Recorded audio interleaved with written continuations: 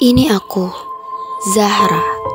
Aku tinggal bersama ayah, ibu tiri, dan saudara tiriku yang bernama Angel.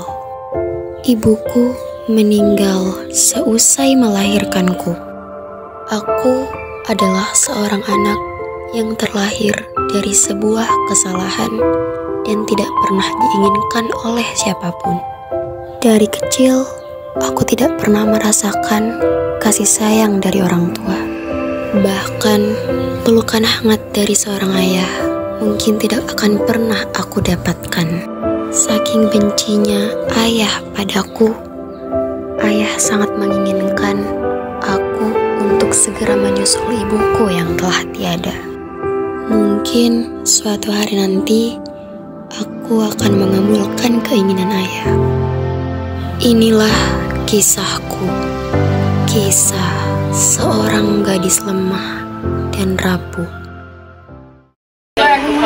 Tahu yang itu ratu-ratu kan? Zahra. Ya. Zahra, kita duluan ya. Aku boleh pinjam buku kamu dah. Oh ini. Iya, itu. Kamu nggak pakai? Enggak, kita balik ya. Iya. Dikasih ya. Hari ini pas tiket. Oh iya lupa. Ya udah, kita keluar dulu ya membersihkan. Iya.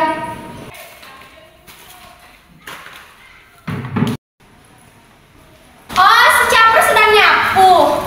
Loh, enggak usah ya cap sama Nopal. Nopal tuh nggak selevel sama lo. Allah menunjuk lo ya. Ingat ya posisi lo tuh jauh di bawah kita.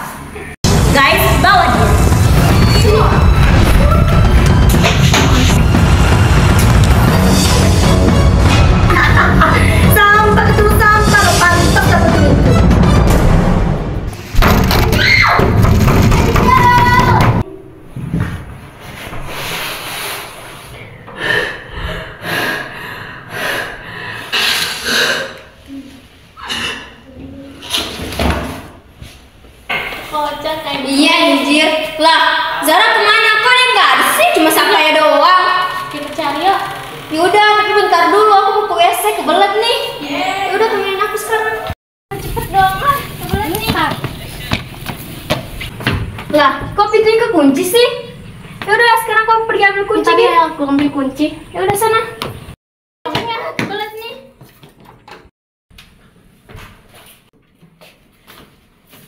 Zara kok ada di sini sih?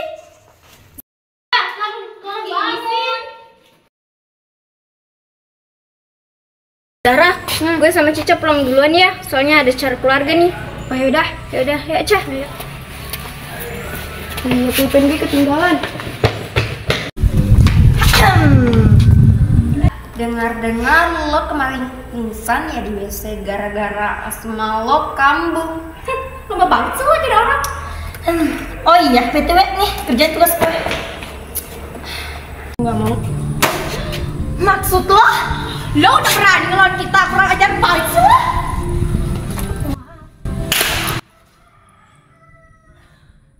Kurang ajar banget sih tuh orang.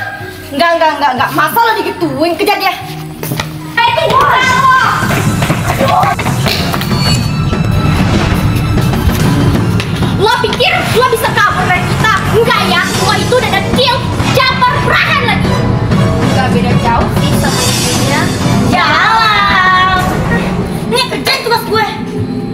Bye. Bye.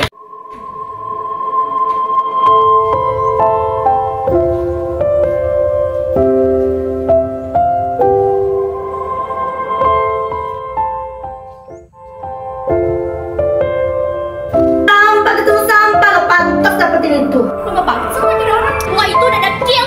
Jabar perahan lagi. Gak beda jauh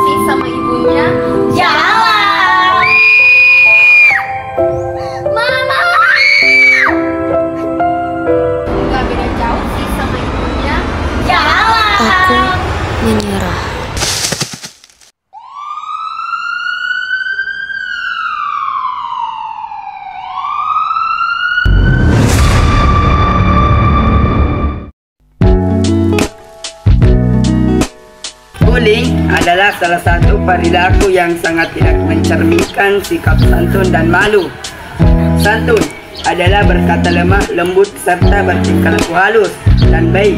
Kesantunan seseorang akan terlihat dari ucapan dan tingkah lakunya.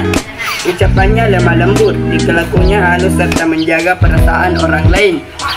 Dari Ibnu Abbas, Nabi Sallallahu Alaihi Wasallam bersabda kepada Al-Ashad, Sesungguhnya dalam dirimu terdapat dua sifat yang dicintai oleh Allah, yaitu sifat santun dan malu.